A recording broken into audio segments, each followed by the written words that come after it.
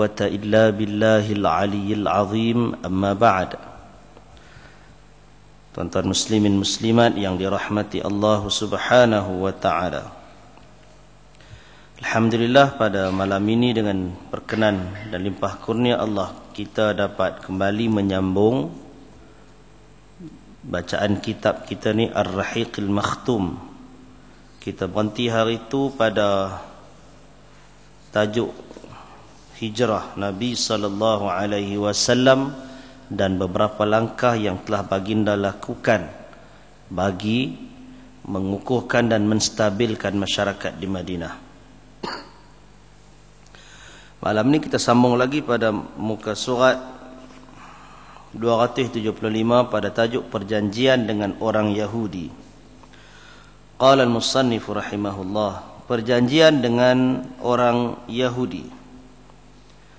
Setelah Nabi sallallahu alaihi wasallam berhijrah ke Madinah dan meyakini keadaan masyarakat Islam yang kukuh melalui penyatuan akidah, politik dan peraturannya, baginda mula memikirkan untuk mengatur hubungan dengan bukan Islam.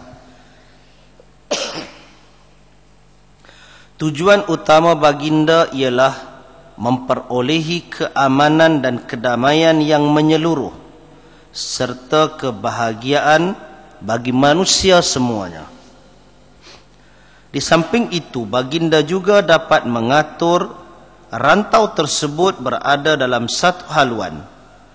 Justru, baginda mula merintis polisi bertolak ansur dan bertimbang rasa yang pernah dikecapi oleh dunia ketika itu yang diselubungi oleh kefanatikan dan penindasan. Bangsa bukan Islam yang paling hampir dengan Madinah ialah orang-orang Yahudi. Walaupun mereka menyembunyikan permusuhan terhadap orang-orang Islam, namun mereka belum menzahirkan sebarang penentangan atau permusuhan. Lantaran itu, Rasulullah sallallahu alaihi wasallam telah mengadakan perjanjian dengan mereka yang memberikan kepada mereka kebebasan mutlak dalam soal agama dan harta benda. Baginda tidak mengambil polisi pengusiran dan permusuhan.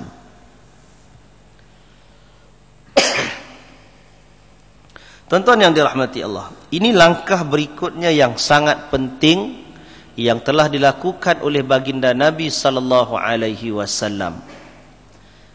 Yaitu kalau sebelumnya yang kita baca hari itu Nabi mempersaudarakan Nabi mengamankan terlebih dahulu dalam ban bai'ah al-aqabah antara Aus dan Khazraj. Hak tu antara penduduk Arab di Madinah Kemudian bila dah Islam sebahagian besar daripada mereka tu dan datang orang muhajirin, orang Mekah, Nabi pertautkan pula persaudaraan antara muhajirin dengan ansar. Nabi bina masjid dan yang seumpamanya yang telah kita bincang hari itu. Namun untuk mendirikan sebuah negara, dia tak boleh mengabaikan kelompok yang yang lain yang ada dalam negara itu. Dia tak boleh kira mentang-mentang orang Islam, kita kira orang Islam saja, hak bangsa lain itu kok pandai depa. Kalau dibuat begitu, itu hanya akan menyebabkan negara akan jadi tak stabil. Mesti ada langkah daripada Nabi sebagai pemerintah yang mula menguasai Madinah untuk bagaimana nak menstabilkan suasana dalam negara dan maka tak boleh tidak dia kena ambil kira satu lagi komuniti yang ada bersama mereka ketika itu iaitu orang-orang Yahudi. Hak Arab ni tadi boleh dikatakan selesai melainkan kelompok-kelompok munafik hak tu tak boleh nak kira dah pasal mereka ini adalah musuh dalam selimut. Apa pun yang Nabi buat dia tetap akan angguk terima tapi hatinya tak reda. Tapi untuk orang-orang Yahudi mesti dilakukan sesuatu. Asas dia ialah supaya orang-orang Yahudi juga seperti mana Aus dan Khazraj seperti mana Ansar dan Muhajirin terima Nabi sebagai ketua negara macam tu juga Nabi mau daripada orang-orang Yahudi. Macam mana nak bagi mereka iktiraf benda ni Nabi meterai perjanjian dengan orang-orang Yahudi ini dengan kelompok-kelompok yang ada ni. Bila mereka sanggup untuk meterai perjanjian yang mana isi perjanjian tersebut secara tidak langsung mengiktiraf kepimpinan Nabi kerajaan yang baru. Ha, maka itu adalah antara titik tolak penting kenapa perlu diadakan perjanjian yang keduanya ialah untuk menjelaskan kepada golongan Yahudi yang bukan Islam bahawasanya pemerintah Islam tidak pernah mengabaikan warganya sekalipun berlainan agama Mesti ada satu garis panduan yang jelas tentang tata cara kehidupan orang-orang Yahudi ini bila dia duduk dalam negara dan negara itu dikuasai oleh orang Islam. Diperintah oleh orang Islam. Mesti ada ikatan dia. Maka ikatan itu perlukan kepada ikrar, perlukan kepada perjanjian supaya kedua-dua pihak, kerajaan dan juga pihak yang berjanji Yahudi dalam kes ini tahu ke mana hala tuju hubungan itu. Yang berikutnya ialah untuk menjelaskan kepada orang-orang Yahudi hak-hak mereka yang dijamin oleh Islam. Itu sangat penting. Itu dari sudut dalaman. Dari sudut luaran, apa yang Nabi sallallahu alaihi wasallam buat ini disebut oleh golongan apa nama para pengkaji sejarah sama ada di kalangan muarrikh Islam ataupun di kalangan sebahagian orientalis wallahu taala a'lam. Tapi setakat yang kajian yang ada mereka kata inilah sat dipanggil dustur ataupun piagam pertama sebuah negara bertamadun maknanya seakan-akan digambarkan belum ada sebelum daripada apa yang Nabi buat ini belum ada mana-mana negara bertamadun yang menulis dan menyenaraikan aspek-aspek yang ada dalam ini.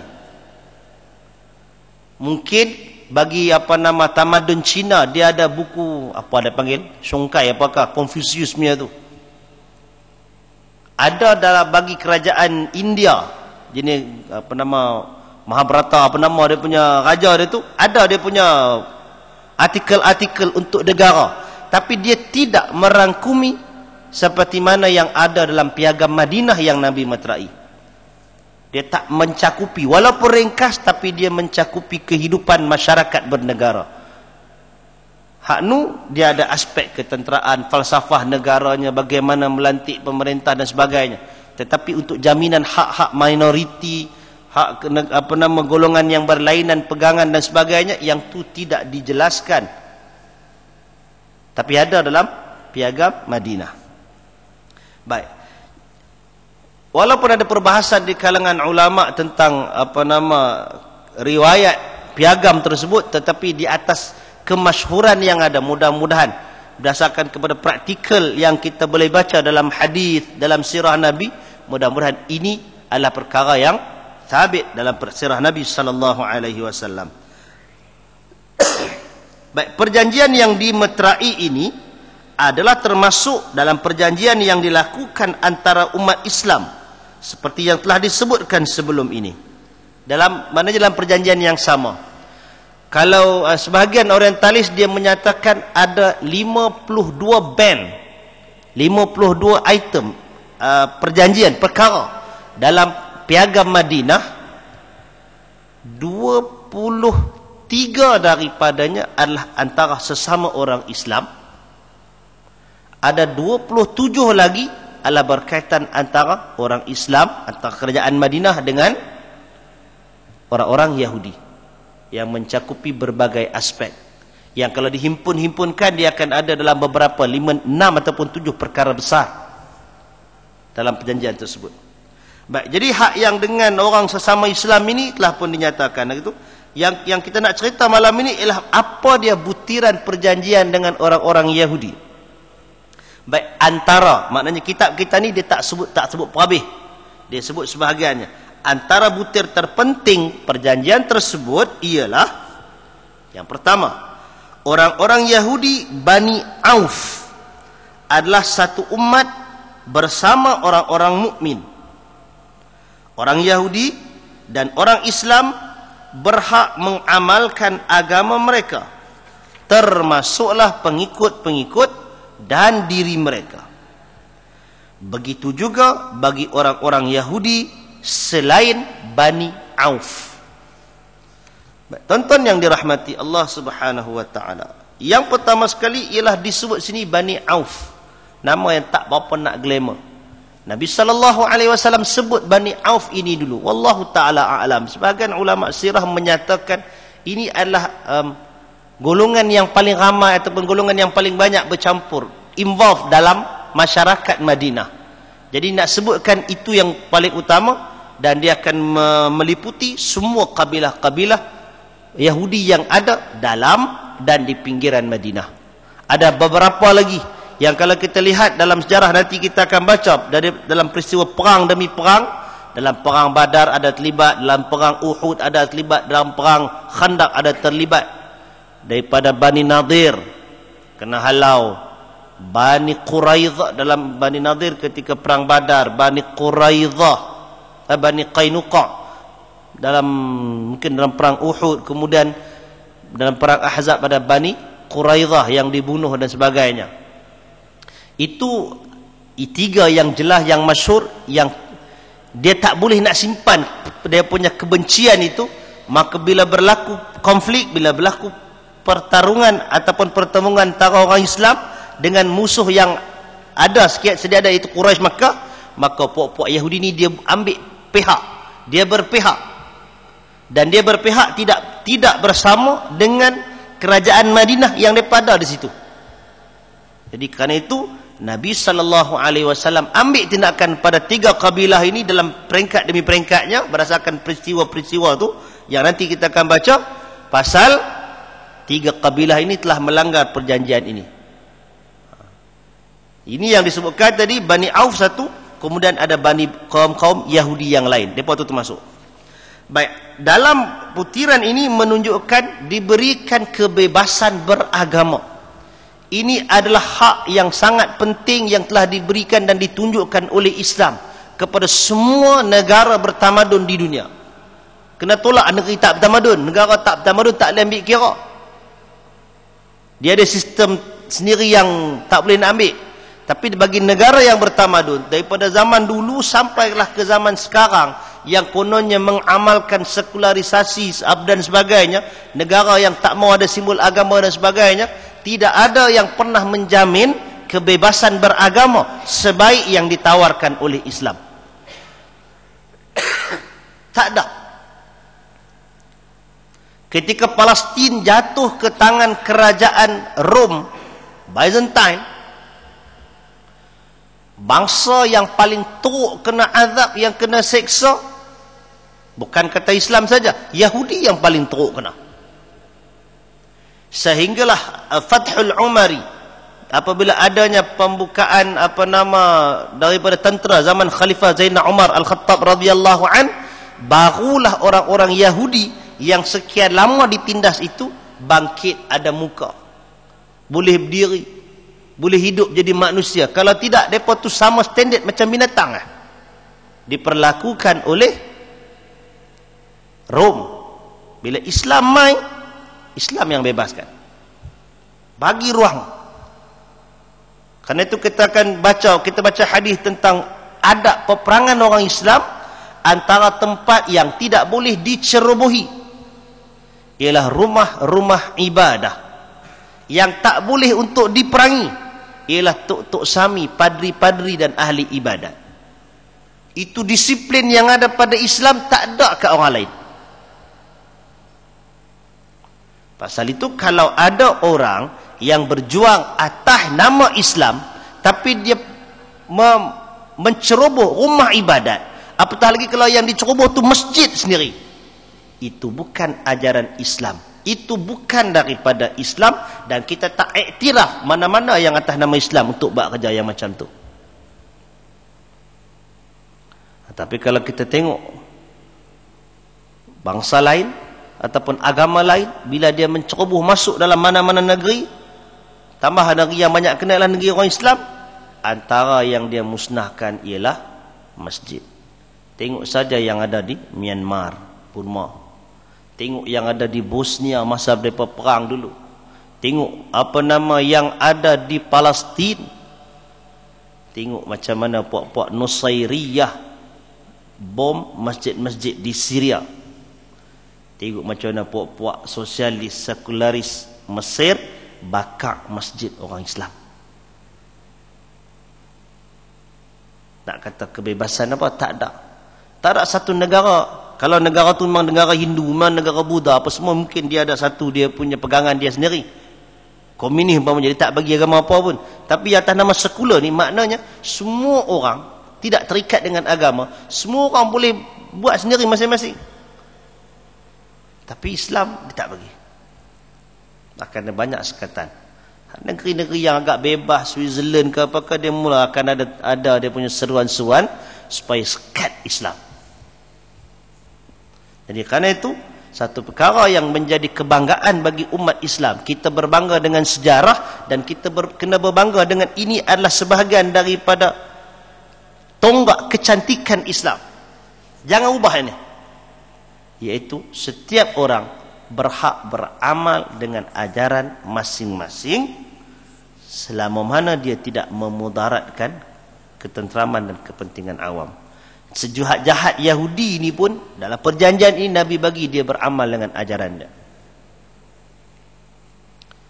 Masa Islam memerintah di Palestin dua kali tunjukkan. Ketika dengan Rom sekali, kemudian ketika dalam masa Salahuddin Al-Ayyubi sekali lagi orang Yahudi itu terpaksa juga di, diangkat balik.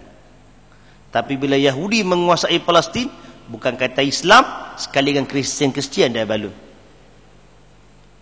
Itu benarnya.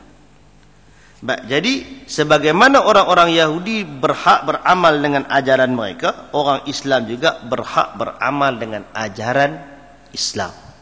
Itu keterbukaan yang ada dalam agama. Maka perin dalam bab ini tuan-tuan, inilah antara isu yang cuba dimanipulasi oleh golongan liberal. Ya kata Nabi bagi benda ni semua. Sungguh. Bagi. Tetapi fakta ini bukan untuk di manipulate bukan untuk disalah guna maknanya sampai tak ada satu sekatan sampai kepada tak ada sampaikan kepada golongan liberal ni pincang cara berfikir dia ialah semua orang boleh beramal dengan agama masing-masing tapi hak Islam dah tak boleh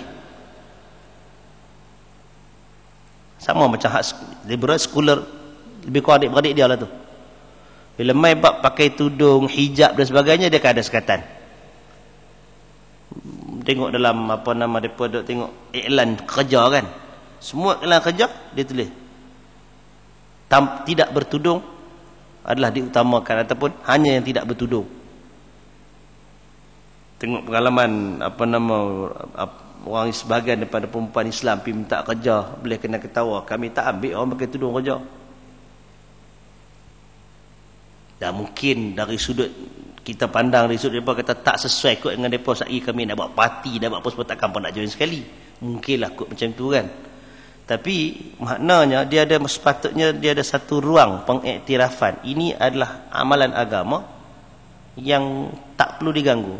Islam ataupun kita katakan undang-undang jalan raya kita tak ganggu sik pakai serban dia tak ganggu kan? Bukan pernah suruh kena buka pakai ketali topik lidah tak pernah. Ada pengiktirafan. Itu adalah antara uh, ruh dan semangat yang ada dalam piagam Madinah yang diasaskan oleh Nabi sallallahu alaihi wasallam. Yang Yang kedua, orang Yahudi dan orang Islam berkewajipan membiayai sendiri nafkah mereka.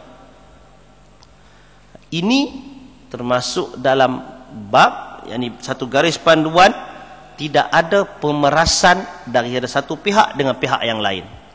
Tidak boleh pihak Yahudi untuk memeras orang Islam hanya kerana orang Islam lemah dari sudut ekonominya, maka orang Yahudi nak tindah. Tak ada ruang untuk yang tu.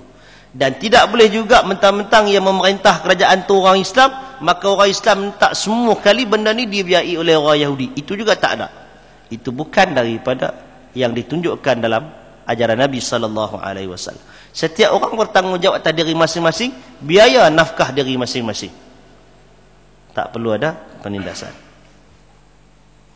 yang ketiga antara mereka hendaklah saling tolong menolong menentang orang yang memerangi piagam ini.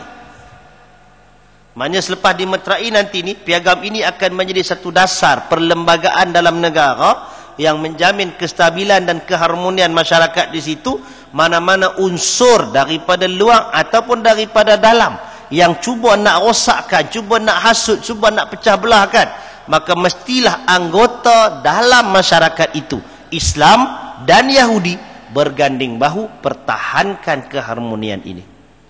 Pertahankan isi kandungan perjanjian ha, ini adalah satu gerakan uh, motivasi satu gerakan kita kata apa?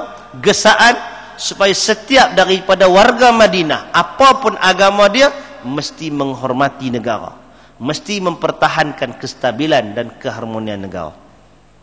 Elakkan daripada musnah hanya kerana kebencian. Selepas Islam hapuskan benteras aspek-aspek itu maka jangan sampai ada timbul benda-benda yang macam tu.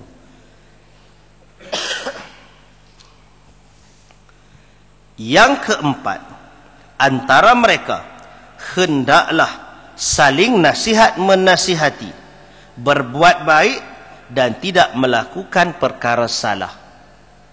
Ini adalah lanjutan daripada yang pertama, tolong menolong. Dan manusia ni dia akan ada pasang surut hidup dia, ada pasang surut emosi dia, cara fikir dia, barangkali ada yang terkesan dengan hasutan, barangkali akan ada yang terpedaya, salah komunikasi dan sebagainya, maka anggota masyarakat yang ada dia tak perlu tunggu orang lain, mesti melaksanakan tugas nasihat menasihati.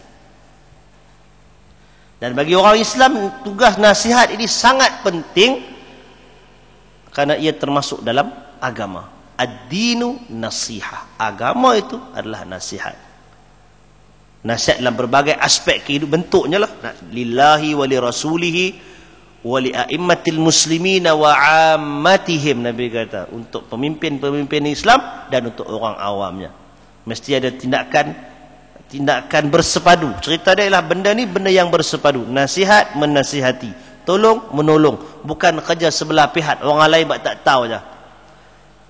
Jadi kalau kita fikir bagaimana Nabi membina community Nabi membina negara antara gambaran yang paling jelas kita tidak membiarkan hanya sebahagian orang saja kayu segala benda hak orang lain tengok bukan takat tengok pakat tinggal komplain je itu bukan ruh dan semangat piagam Madinah. Dia kalau bukan kata komplain nasihat tolong perbaik boleh tapi bukan tolong pejahanam. Itu bukan yang ditunjukkan. Kita akan ada teguran kita akan ada nasihat kita akan ada penambah baikkan kita akan ada cadangan ha, kita akan sama-sama untuk membina. Dan bukan memanglah bukan semua orang mampu untuk buat kerja yang macam tu. Yang peringkat pekerja awam pekerja awam orang bawah orang bawah lah kan. Jenis golongan hamba tetap dengan golongan hamba. Golongan saudagar dan sebagainya dengan tanggungjawab dia. Tetapi kerja untuk menjaga kestabilan ini dalam ruang lingkup masing-masing dia perlu dijalankan. Ini yang Nabi tunjukkan kita. Yang berikutnya seseorang tidak boleh membuat kesalahan terhadap sekutunya. Ini adalah uh, antara band yang penting dari sudut nak menjaga mengelakkan tercetus balik kebencian yang lama. Antara Aus dan Khazraj ini bukan sehari dua punya gaduh. Ini gaduh berapa keturunan dah ni? Dia tak boleh leka je. Dan pernah jadi walaupun telah dimerterai perjanjian ini antara sesama Ansar Aus dan Khazraj masa tu belum lagi diharamkan arak. Baru larang sikit-sikit. Bila main mabuk dia pun mula bangkitkan dengan syair-syair lama mengimbau balik sejarah hak katu keluar, keluar penama puak hang kalah dengan puak kami masa begitu dan begini. Maka itu menimbulkan kebencian dia menimbulkan menambahkan luka yang yang baru parut baru nak hilang jadi kerana itu itu sama-sama Islam. Tambah lagi dengan dengan Yahudi yang luar daripada konteks itu. Bukan dekat dengan Yahudi. Depa ni bangsa Arab di Madinah dan Yahudi ni dia ada sekutu di luar Madinah. Yang buat urusan sama-sama depa jual beli barang dan sebagainya. Ada urusan adik beradik perkahwinan dan sebagainya. Jadi itu semua terlibat belakang tu.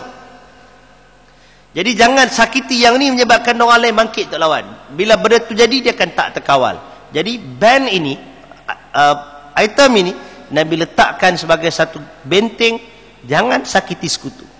Nanti akan bangkit orang lain pula nanti. Itu antara kita katakan asabiah yang hebat yang ada pada depa. Kalau kena kat kawan tu depa tu sekutu kita. Yang dibangkit dia bukannya lepas diri kena kat depa depa tanggung sendirilah. Tak. Atas rasa asabiah tak kira siapa betul siapa salah depa boleh bangkit lawat sokong ini jadi geng kongsi gelap punya geng ni mana punya geng, mereka akan bangkit pi. Tak kira siapa betul siapa salah lagi. Dia akan panggil lah geng abang kawasan dia ke ayah anda dia ke sampai turun sekali. Itu antara benda yang ada pada orang apa nama masyarakat di zaman itu. Yang berikutnya pertolongan hendaklah diberikan kepada orang yang dizalimi. Ini dari sudut kita katakan bacaan yang biasa makna orang yang dizalimi orang yang ditenang orang tu kita kena tolong. Tapi kita juga kena baca hadis yang Nabi sallallahu alaihi wasallam sabdakan unsur akhaka zaliman atau mazluman. Tolong saudara kamu sama ada dia tu orang yang menzalimi ataupun dia orang yang kena zalim. Sampai sahabat heran. Yang tahu tolong orang yang kena zalim. Hak tu benda biasa. Semua orang tahu yang tu Orang yang ditindas, orang yang susah, itu yang nak kena tolong. Itu sifat itu adalah sifat yang memecahkan ideologi tolong puak walaupun puak tu jahat. Asabiah kaumiyah yang Nabi benci itu, yang Nabi larang itu ialah yang dia akan tolong puak dia walaupun puak dia bersalah. Jadi untuk kikih yang tu, untuk buang yang tu, tolong orang yang dizalimi walaupun bukan puak kita. Ha, tapi bila main Nabi sebut tolong yang dizalim yang menzalimi. Dia dah jadi macam eh hari tu yang diajak begini pasal apa jadi lagu ni? Maka nabi kata apa?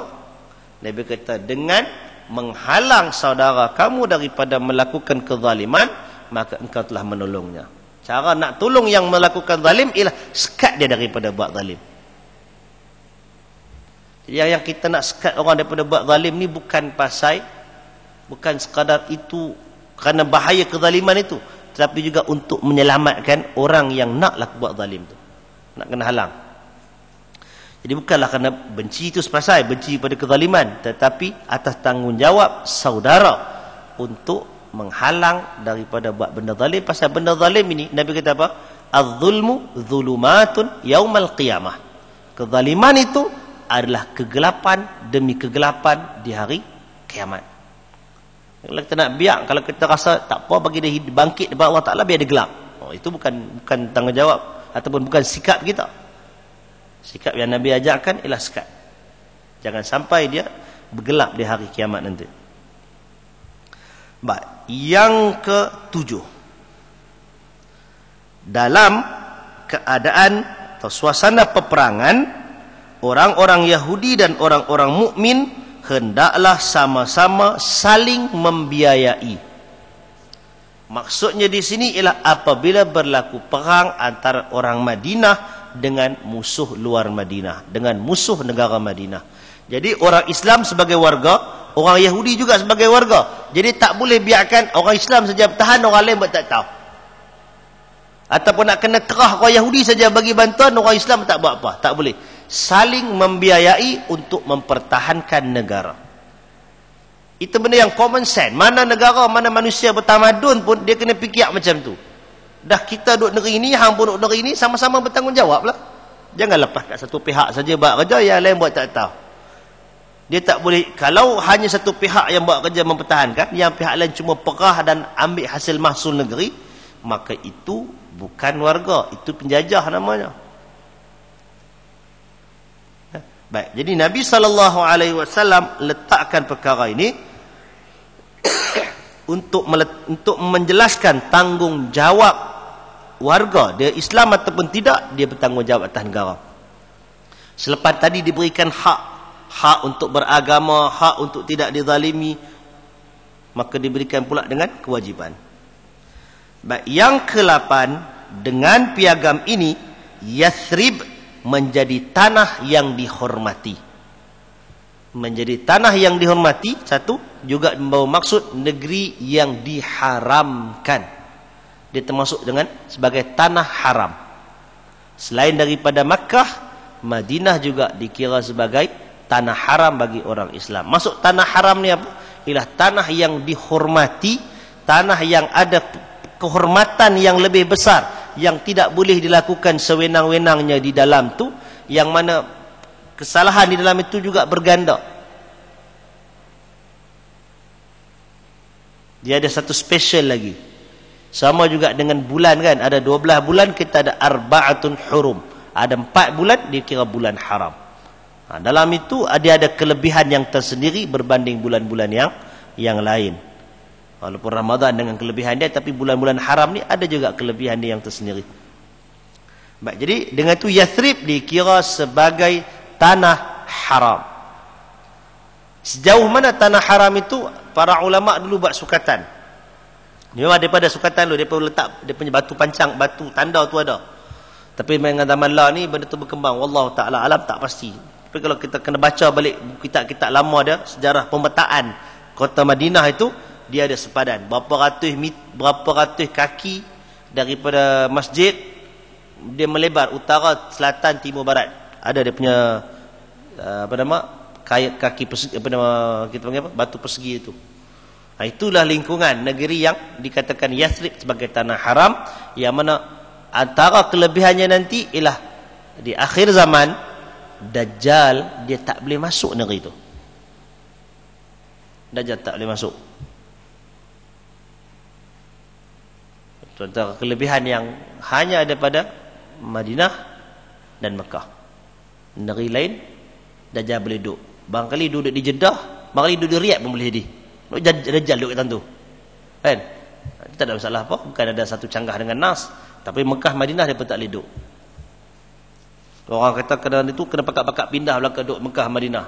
Oh zaman lang sebagai negara negara ada undang-undang, bukan boleh pakat-pakat pindah macam itu kalau pindah macam tu tu yang jadi berlambak dengan warga asing di situ akhirnya macam-macam. Jadi jadi apa nama? Jenayah. Tu yang buat pemutihan. Geng gelap ni kena buat pemutihan kan? Hantar balik dan sebagainya di Mekah tu. Baik nombor sembilan. Sebarang masalah atau pertikaian yang dibimbangi membawa kerosakan di kalangan mereka yang mematrai piagam ini hendaklah dirujuk kepada Allah dan kepada Muhammad sallallahu alaihi wasallam. Ha, ini band yang sangat penting. Yang pertama sekali ia menepati apa yang telah Allah Subhanahu wa taala nyatakan fala wa rabbika la yu'minuna hatta yuhakkimuka fima shajara bainahum wa la yajiduna fi anfusihim harajan mimma qadaita wa yusallimu taslima Hak ni khas untuk orang beriman. Kaedah dia Nabi kata apa? Dan tidaklah seorang tu dikira beriman sehingga dia berhukum dengan engkau di atas apa yang mereka berselisihkan antara mereka.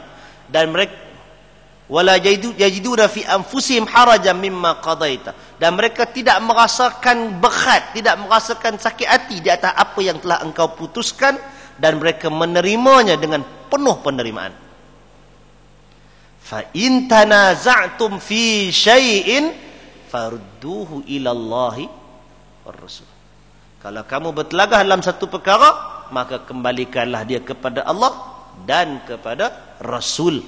Itu cerita untuk orang beriman turun wahyu.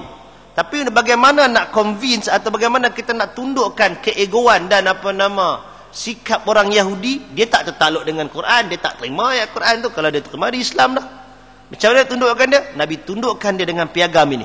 Apa saja pertikaian sesama mereka yang membabitkan kepentingan awam, membabitkan kepentingan negara, mestilah dirujuk balik kepada Allah sebagai Tuhan Rabbul Jalil dan rujuk kat Nabi sebagai pemerintah negeri itu. Maka kita dapati dalam dalam hadis ada beberapa kes yang Yahudi akan datang rujuk kat Nabi bagaimana nak selesaikan masalah Itu yang cerita mereka bawa lembaran Taurat mereka jatuhkan hukum. Hak jatuhkan hukum golongan hak kaya-kaya ni mereka bagi hukum masing. Hak mana orang biasa mereka bagi hukum ikut yang ada. Dia boleh main tutup sebelah-sebelah macam tu. Macam mana boleh tersampaikan Nabi? Pasal dia membabitkan pertikaian. Bila pertikaian, dia buat jumpa Nabi. Adapun pertikaian sama-sama mereka sendiri yang boleh diselesaikan tak membabitkan kepentingan awam dan sebagainya, apa setelah sendiri. Bukan semua benda pergi rujuk kat Nabi maksudnya. Kalau tidak 24 jam Nabi tak cukup. Kan? Semua nak main rujuk dah penin. Jadi ada perkara-perkara yang membabitkan masalah awam. Hak tu main rujuk. Dan mesti diputuskan oleh Nabi. Ha, bagi orang Islam pun kena macam tu. Dalam perkara-perkara kehidupan yang dia penatkan wahyu dia perkara rujuk jumpa Nabi. Ha, tapi kalau benda yang biasa-biasa yang berdasarkan kepada garis panduan umum Nabi sebut dah, ada ha, pun pandailah tok kehidupan dia bah. Itu itu gambaran yang ada pada zaman Nabi sallallahu alaihi wasallam. Yang ke-10. Orang-orang Quraisy tidak boleh dilindungi. Begitu juga orang-orang yang membantu mereka. Ini dalam konteks zaman itu, masa itu Quraisy merupakan bangsa ataupun kabilah yang menguasai Mekah yang ketika itu masih lagi menganut agama menyembah berhala dan menjadi musuh kepada Nabi dan orang Islam. Jangan kira Quraisy dipakai sama-sama lah. Kalau Quraisy dikira sampai zaman sekarang tak ciri kan. Hak puak khas lempang tu banyak yang mengaku Quraisy. Jadi yang ini termasuk dalam bab orang-orang Mekah tidak boleh lindungi. Pasal itu adalah seteru dalam dalam apa nama konflik antara Mekah dan Madinah masa itu. Masa bila yang depa ni termasuk dalam perjanjian? Nu nanti ketika Hudaibiyah nanti. Banyak tahun lagi tu nak sampai tahap tu. Tapi dalam mereka awal ini hak orang Madinah, orang Mekah tak termasuk. Quraisy tak termasuk dalam perlindungan ini dan sekutu mereka pun tak termasuk. Ini supaya tidak berlaku pengkhianatan. Supaya tidak berlaku ada timbul rasa kesian, timbul rasa belah, lagi tak sampai hati, bantu yang ni, yang ni bantu yang sana, lah kali yang sana nak metikam sini balik. Jadi ada sekatan yang yang letakkan, yang digariskan oleh Nabi sallallahu alaihi wasallam. Baik, yang ke-11, mereka yang terlibat dengan piagam ini hendaklah tolong menolong menentang orang yang hendak menghancurkan Yathrib. Bagi setiap orang mempunyai hak masing-masing dari pihaknya sendiri. Makanya dia kena kerahkan semua kabilah isi kampung, isi rumah dia untuk mempertahankan Madinah daripada serangan musuh. Dan apabila uh, Bani Nadir umpamanya, Bani Qainuqa. Lepas tu Bani Quraidah depa tak ikut yang ni. Depa tak tolong menolong untuk pertahankan Madinah pertahankan Yathrib malahan depa buat perjanjian sulit dengan musuh. Maka itu yang menyebabkan ada yang Nabi halau keluar ada yang Nabi bunuh sekampung. Satu kabilah habis. Apabila depa pakat antara Yahudi Quraidah golongan munafik dan tentera ahzab. Buat perjanjian sulit dan benda tu diketahui oleh Nabi sallallahu alaihi wasallam. Dengan wahyu Allah Taala hantarkan bagi tahu perkara tu maka Nabi hantar sahabat kan. Kat sahabat Nabi yang ada hubungan baik dengan Yahudi dia masuk dia yang atok benda tu semua tipu helah dan sebagainya menyebabkan gagalnya pakatan sulit antara Quraisy dan Ahzabnya munafikin dan Yahudi. Yahudi cabut awal. Dan akhirnya mereka dihukum oleh Nabi sallallahu alaihi wasallam. Baik perjanjian ini tidak boleh dilanggar melainkan orang yang zalim atau berdosa. Jadi hak yang langgar ni dikira orang zalim dan kira berdosa dan akan terima akibatnya. Antara akibat yang telah Nabi tunjukkan ialah dihalau keluar daripada Madinah dan juga dihukum bunuh. Itu dia. Standard. Mana-mana perlembagaan sampai ke hujungnya itu mesti mengiktiraf perlembagaan negara. Dan dalam kes ini, perlembagaan ini semua duduk di bawah lingkungan uh, ruh dan semangat syariah Quran dan sunnah Nabi sallallahu alaihi wasallam. So tak ada pertindahan, tak ada overlap, tak ada melebihi. Piagam Madinah semuanya ruh dan semangatnya intipati dia duduk di dalam dalam naungan ataupun Uh, ruh dan semangat Al-Quran dan sunnah Nabi. Dan manakala kalau kita apply dalam zaman moden kita, mana-mana undang-undang perlembagaan yang menepati ruh dan semangat Quran dan sunnah Nabi maka itu perlu dipertahankan dengan penuh kewajiban mana-mana yang bercanggah maka itu tidak dikira sebagai perkara yang mesti dipertahankan. Kerana kalau dia bercanggah dia berendatangan itu dikira maksiat sedangkan Nabi sallallahu alaihi wasallam sabdakan la ta'ata fi maksiatillah tidak ada ketaatan dalam bermaksiat kepada Allah Ta'ala. Jadi itu aspek yang perlu dibezakan. Bila kita menjunjung perlembagaan satu-satu negara, kita iktiraf, kita terima, kita akan terima perkataan itu dalam arti kata mana-mana yang tidak menyalahi syarak Quran dan Sunnah. Adapun aspek-aspek yang bercanggah yang tu kita tak terima, kalau ada yang terima dalam keadaan yang terpaksa, tapi bukan dalam bentuk redha timbul isu tentang mempraktikkan sistem demokrasi. Kalau nak apply hak ni tak ada lah demokrasi itu zaman kita kan. Tapi sejauh mana rupa dan bentuk demokrasi yang ada sekarang ini yang boleh menjaga dan memelihara masalah umat Islam, maka para ulama seluruh dunia sejak berpuluh tahun bincang panjang tajuk ini akan ada pro dan kontra daripada yang tolak habis tolak langsung. Tolak tu dia baca hak zaman Greek punya demokrasi. Lepas tu dia banding tempat dia. Dengan sebahagian daripada golongan yang dia kena terjun dalam kancah itu dia kena tahu dan dia nampak ruang di mana masalah negara masalah Islam masalah umat itu boleh dipertahankan dengan sistem yang ada tu ruang yang ada maka bukanlah orang yang menyertai demokrasi dalam erti kata menjunjung tinggi demokrasi lebih daripada Quran tapi menyertai demokrasi pada kadar dan lingkungan sekadar menjaga maslahah agama dan maslahah umat. Hak tu sahaja. Dengan penuh kejelasan bukan nak jadi hamba demokrasi tetapi untuk memelihara maslahah yang ada. Itu sistem yang dipakai. Dan ada banyak ruang, ada banyak dimensi dalam demokrasi itu yang tidak melangkaui garis panduan syarak. Maka baik sekitar itu saja. Sekitar itu saja. Kalau orang kata keputusan akhir ada di tangan majoriti. Sedangkan Islam keputusan akhirnya duduk pada Quran dan Sunnah Nabi. Itu benda yang masih ada huraian lagi praktikal dia. Um, dalam Islam juga ialah selain daripada apa yang muktamad segala yang putus daripada Quran dan sunnah Nabi ada banyak perkara ijtihad. Dan perkara ijtihad ini antara aspek yang digunakan ialah masih mengambil kira pandangan ramai. Ada ruang untuk itu. Jadi sekadar sekadar temukanlah aspek itu dengan antara aspek demokrasi dengan apa yang ada dalam dalam ajaran Nabi. Sekarang itu je lah bukan lebih dan bukan tolak semua. Tentang tak sama tak boleh pakai langsung. Tak. Itu benda yang yang kita kena lapangkan dan, dan luahkan pemikiran. Kalau tidak kita nak pakai sistem apa? Semua pakai angkat senjata pergi perang. Slogan tumbuhung slogan tu betul. Orang yang cakap tumbuhung je nak pergi angkat pergi perang lah apa semua. Nak tegak khilafah lah apa semua. Apa effort pun kita tak tahu. Di, bila kita membaca piagam Nabi, piagam Madinah ini, kurang-kurangnya kita lihat mana yang bertepatan itu, itu yang kita akan sokong, kita akan apa nama letakkan ketaatan insya-Allah. Baik, dengan temertrainya perjanjian ini dengan perjanjian Madinah dan kawasan-kawasan pinggirannya telah menjadi negara yang disahkan. Pasal apa disahkan? Pasal dia ada perlembagaan dia disahkan pasal pemerintahnya diiktiraf oleh rakyatnya. Bukan kadang orang Islam saja. Yang bukan Islam Yahudi dan yang masih musyrikin pun terima Nabi sebagai ketua. Jadi sah negara tu. Walaupun dia kecil.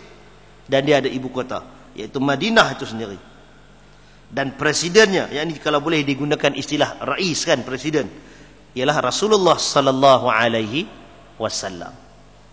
Walaupun negara itulah negara kota negara kecil dia tak ada satu istilah apa negara yang dibangunkan negara Madinah dan uh, isi kandungan ni sebenarnya isi kandungan yang valid sampai ke zaman moden kan jadi apa yang Nabi buat ni ialah satu gambaran ataupun satu petunjuk uh, contoh untuk sebuah negara yang ada sistem Baik. Perintah baginda mesti dilaksanakan. Baginda juga berperanan sebagai sultan di kalangan umat Islam. Dengan piagam itu juga, maka Madinah menjadi ibu kota sebenar negara Islam. Ha, daripada situ dia berkembang. Pasal bila kata negara Madinah tu dia bukan Madinah, Madinah tu saja. Dia termasuk dengan perkampungan-perkampungan kabilah-kabilah yang ada. Kalau zaman lah ni bukanlah Madinah tu dia berkembang kan sampai Kuba lah sampai apa nama beberapa tempat keliling-keliling tu. Itu adalah antara ruang lingkup negara yang ada dan dia juga membabitkan laluan perdagangan. Bila orang lalu perdagangan dia tahu sekarang ni dia lalu dalam dulu negeri ini dan negeri tak ada pemerintah, masing-masing buat hal masing-masing, bergaduh sama-sama kabilah dan sebagainya. Ha, sekarang ni dia ada satu ketua, Rasul sallallahu alaihi wasallam. Dia ada undang-undang. Barulah orang tahu oh, ini negeri ini negeri ada undang-undang. Mekah tak ada undang-undang macam tu. Bahkan sebahagian daripada negara negeri jajahan Rom dan Parsi yang di bawah raja-raja depa tu bukan ada satu piagam yang bertulis yang yang yang kita katakan sebagai firm untuk jadi sebuah negara yang berdaulat. Dia betul-betul letak sistem monarki, sistem tradisi, ikut suka aku, siapa yang, yang berkuasa, dia yang paling dia boleh buat apa suka dia. Ha, tapi dalam negara Madinah ini, dia ada garis panduan tersebut. Walaupun di hujungnya itu, ke, dipusatkan ke keputusan akhirnya kepada Rasul sallallahu alaihi wasallam yang ini adalah atas dasar Nabi sebagai rasul Allah Ta'ala bantu Nabi kan? Dengan wahyu dan sebagainya. Jadi terima di situ. Dan Nabi buka dalam sudut praktikalnya walaupun Nabi sebagai center untuk hukum dan sebagainya ketika itu dalam bak kehidupan seharian kita akan baca hadis kita akan baca dalam sirah Nabi bermesyuarat sama ada dengan Abu Bakar dengan Umar dengan beberapa kelompok di kalangan sahabat. Bahkan bila nak perang Nabi panggil seramai mungkin yang ada Nabi boleh tolak pandangan apa nama senior-senior sahabat. Nabi boleh terima pandangan ramai di kalangan pemuda. Menunjukkan walaupun Nabi sebagai tonggak ada keterbukaan yang jelas pada praktikal Nabi sallallahu alaihi wasallam. Baik, untuk memperluaskan lagi keamanan serantau, Nabi mengadakan perjanjian dengan kabilah-kabilah lain pada masa hadapan seperti mana perjanjian ini mengikut kesesuaian suasana hal itu akan dibincangkan nanti. Jadi itu yang kita akan jumpa nanti. Nabi sallallahu alaihi wasallam hantar surat kepada raja-raja pembesar-pembesar gubernur-gubernur. Termasuk al-Mauqawqis di Mesir masuk kepada raja Rom dan Parsi. Nak bagi tahu adanya sebuah negara yang perlu iktiraf. Di sudut eh, politiknya bila ada wakil diplomatik di sana ada duta yang dihantar bila orang tu terima mana iktiraf tu pasal tu yang uh, dalam bab negara Israel kan. Kita bantah kita tak terima tak sebut nama tak mau terima langsung tak mau ada hubungan. Pasal kita tak mau iktiraf dia sebagai negara yang sah. Walaupun di sudut PBB nya dia termasuklah. Betul masuk kan PBB kan? Dia dah masuklah dia ada bendera dia dia dia di ibu kota dan Tel Aviv dan sebagainya. Tapi di sisi hati nurani orang Islam kita tak mau iktiraf itu sebagai negara yang sah. Itu negara haram. Itu yang kita putuskan hubungan, kita tak bagi masuk dan sebagainya. Pasal tak mau pengiktirafan. Tapi cuma tempat kita ni, negeri kita ni secara rasmi tak boleh. Tapi hak masuk ke tepi, masuk ke port, masuk ke kapal terbang, okey je masuk, tak ada apa pun kan. Jadi tak iktiraf dalam satu bentuk, iktiraf dalam bentuk-bentuk yang lain. Dia tak begitu, se, apa nama, uh, tegas yang kita nak sebutkan. Uh, demikian juga dengan negara-negara bila Muammar Gaddafi jatuh dulu kan naik yang baru kita hantar uh, nota pengiktirafan. Kalau kita tuhkan dengan duta kalau macam yang Syria umpamanya kita bantah tarik. Ha, bila main tang Mesir tak keluar apa urusan tu? Kita tak tahu nak sokong ke tak sokong? Ha, yang tu tak apa ada peristihat lah. Apa, apa, apa nama Mr. 10% tu kena bagi kena bagi nasihat yang betul ya kan Baik, jadi tuan-tuan muslimin yang dirahmati Allah Subhanahu wa taala itu dia um, tajuk kita kita boleh bincangkan pada malam ni insya-Allah kita akan sambung lagi dalam kuliah yang akan datang. Wallahu taala alam kita buka kepada perbincangan. Silakan.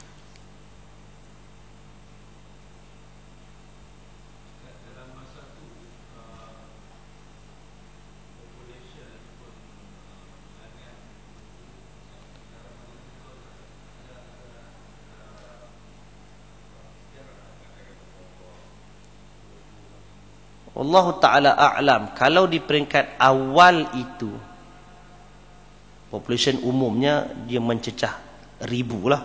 Ambil kira dengan Yahudi ambil kira dengan semua sekali kan. Tapi hak Islam tu sendiri tak ramai. Bahkan bila nak bawa keluar tentera yang paling solid maknanya hak ni lah core 300 lebih ya. Kalau lah kita katakan tentera tu 300 lebih kita kita balance tu itu mungkin menggambarkan satu per tiga daripada jumlah orang Islam. Maknanya orang Islam berapa ribu ya? Masih minoriti. Campur. Tapi benda tu dia berkembang pesat kan. Dia berkembang dan berkembang. Kemudian kabilah-kabilah di keliling tu masuk. Bukanlah dia tak dia tak cecah sampai puluh ribu. Perlihat sekali lama tu pun banyak tu je pun kan. Jadi Madinah pun dia dalam zaman tu. Walaupun tak ada satu, kita pun tak tahu. Dia buat bancian ke tak. Dan kalau ada bancian tu pun kita tak pasti validity, kesahihan riwayat dan sebagainya kan. Ha, cuma kalau nak bandingkan, kalau nak ambil kira daripada tentera, 300 lebih. Kalau nak gambarkan, katalah itu sekadar satu perempat daripada jumlah yang ada. Baru banyak tu je orang Islam. Kalau kata orang Islam 50%, nah, kali dua banyak tu lah populasi yang ada. Kalau ke setengah, kalau ke separuh, bukanlah negara yang besar. Walaupun tak besar, tapi bila Nabi hantar wakil-wakil ni, semua bakat bangkit, bangkit respon dan sebagainya. Itu satu pengiktirafan kepada negeri yang kecil. Dan menunjukkan bukanlah makna negeri yang kecil itu tak boleh dijadikan negara. Lepas daripada Madinah atau sebelum daripada Madinah, banyak lagi negara tamadun ni yang kecil. Kan? Sekarang berpusat tempat dia ya. Barangkali tamadun Maya dia belah Meksiko, belah-belah mana tu, itu pun bukanlah besar mana pun orang dia kan. Yang jenis besar ni hak dari Cina tu yang boleh himpunkan sampai berapa-berapa ratus ribu orang. Tapi Madinah kecil. Kalau zaman muda ni, hak jenis Vanuatu, hak jenis uh, apa, kepulauan-kepulauan tu ingat, berapa ribu orang saja. Macam perlis itu sabit ikut dia duduk combine dalam federal. Kan? Tidak. Ada berapa? Sejuta orang. Perlis. Sejuta dah. Tak sampai sejuta. Uh, kan? Jadi Madinah pun bukanlah ramai sangat kalau nak kata sesut tu dan sungguh pun dengan kekurangan yang ada tapi sistematik yang Nabi tunjukkan itu mendahului negara-negara bertamadun yang lain. Dalam bentuk menjaga kemaslahatan seluruh aspek. Ha, macam kita kata tadi Cina Konfusius lebih awal lagi daripada tu kan? Ada juga aspek yang dia yang dia tuliskan tapi itu pun tak bukanlah dipakai oleh Maharaja Cina. Ha, kerajaan India yang berbagai itu ada juga dia punya disiplin negara dia.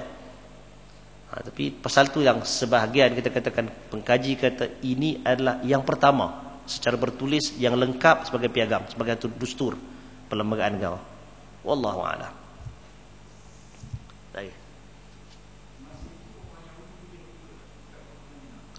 Ya, masa itu orang Yahudi masih duduk di kota Madinah. Bukan tak boleh duduk, dia perkuasai habis segala kebun-kebun segala perigi sistem pengairan tu dia perkuasai yang sampai kita cerita dulu Sayyidina Uthman bila sampai Sayyidina Uthman kena beli tebih telaga tu.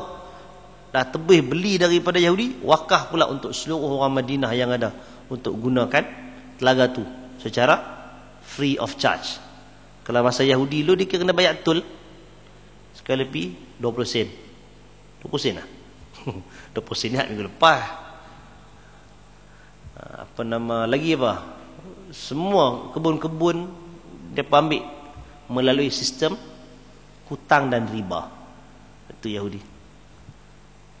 Yang lain itulah. Allah alam. Dan zaman tu memang tak ada tentera. Bukan kata Madinah Arab, Mekah Arab seri seluruhnya. Dia tak ada satu sistem tentera pasukan yang yang maknanya tersusun berpasukan bergaji bekerja itu tak. Ini dia lebih kepada bentuk kerahan. Walaupun kerahan tapi memang ada lah dia punya grup pendekar-pendekar parlima-parlima perang tu memang ada lah pakar pedang pakar memanah pakar berkuda. Hak tu dia memang train. Sebagai kabilah ni nomad sebagai Arab ni memang dia pada kepakaran yang tu. Tapi utah nama sebagai satu pasukan tentera yang rasmi tak ada. Hanya ber, kalau untuk peringkat negara Islam negara Madinah tu hanya bermula zaman Umar Al-Khattab bila tentera tu diberikan full time dengan gaji. Ha, zaman Nabi dia lebih berbentuk kerahan. kalau negeri-negeri tamadun yang lain daripada lah Rom, Spartak, apa nama Byzantine sebelum daripada awal lagi sebelum daripada itu kan. Trojan apa Troy apa semua tu kan. Ha, itu daripada tentera dia pak. Ha, itu dia. Wallahu alam. Dan sistem hmm, kabinet apa nama jemaah menteri ni benda tu rasanya memang sebagai seorang pemimpin negara automatik dia kena ada benda tu. Dia tidak berbentuk uh, one man show. Macam mana pun hebat Fir'aun itu dia tetap ada menteri dia. Sehingga kan disebut dalam Quran sebagai al-mala al-mala kan? Dia ada Haman dia ada menteri-menteri dia. Hak tu yang tolong tolong cucuk tolong perangat ataupun itulah golongan yang yang Firaun uh, uh, takutkan dengan kedatangan Nabi Musa alaihissalam dan sebagainya. Benda tu maknanya sistem itu bukan sistem yang tiruan itu. Tak benda tu dia akan jadi. Firaun ada menteri dia zaman apa nama kerajaan Rom Greek dulu dia ada menteri dia dia ada kabinet kemudian dia ada sistem parlimen. Benda tu manusia ini kata Aristotle madaniyun bittaba. Dia bersifat sivil secara semula jadi. Jadi benda tu Allah Taala uh, anugerahkan. Dan orang Mekah yang macam tu punya kita katakan terpencil pun ada sistem parlimen dia. Ha, zaman Nabi ah cuma Nabi Nabi tak guna sistem parlimen secara meluas. Ialah apa nama Mekah mungkin dia panggil ketua-ketua kabilah kan. Nabi menggunakan sistem ahlul hilli wal aqdi di kalangan sahabat Nabi. Di kalangan sahabat itu Nabi akan panggil beberapa orang macam kita kan sistem syura tu Nabi akan panggil bincang Nabi akan peluahkan dan peluahkan berdasarkan kepada isu. Itu gambaran uh, negara yang Nabi bina. Dia tak ada uh, sistem moden sangat tapi itu itu keperluan yang ada. Tambah dengan populasi yang sikit takkan nak buat sistem parlimen macam tu pula kan? Nak bagi bertanding tak ada lah zaman tu. Ha itu dia. Wallahu taala alam. Habis dah insyaallah kita akan jumpa lagi di lain masa. Aku qauli hadza wa astaghfirullahal azim li wa lakum. Assalamu alaikum warahmatullahi wabarakatuh